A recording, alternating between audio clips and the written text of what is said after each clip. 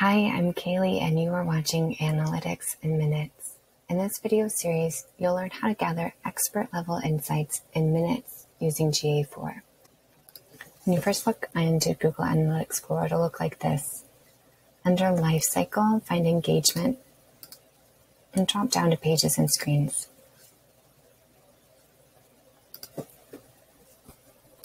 Going to minimize our navigation. Along the top is where you'll be able to add the marketing dimension that you want to view. So under dimension here, I'm going to type first user medium. There it is.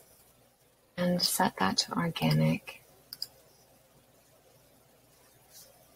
All right.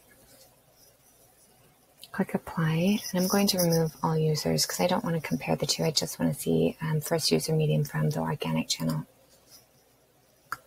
closing out my navigation. My date range I can adjust up here. There's some preset um, definitions, or you can create a custom date range. Now, these two um, graphs, your bar graph and your scatter chart, will change automatically by the way that we set it down here in our table. So this drop down, you can choose to view column one by page title or your URL, whichever you're more familiar with. And then these are your metrics within your columns here. So if I wanted to choose a new users by page title in the organic channel, um, it'll automatically populate my bar graph for new users by page title and my scatter chart by new users by page title. Now, if I want to see users by, say, um, first visit, so this would be my landing pages, I can do so here. And if I click on the header, I can change this from ascending and, and descending values. One other thing I may be interested is um, not just the organic landing pages with the most traffic, but which ones are the most engaging.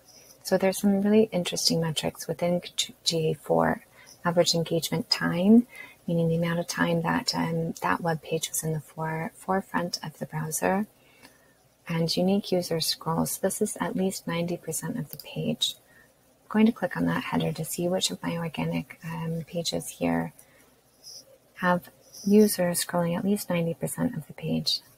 These um, articles or sections of my website, I may want to write additional con content similar to these.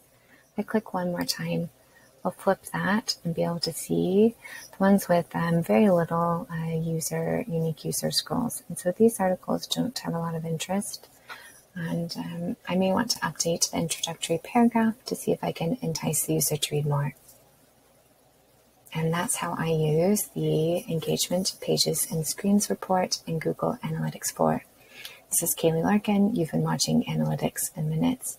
If you found this video helpful, please hit subscribe and share. Thank you.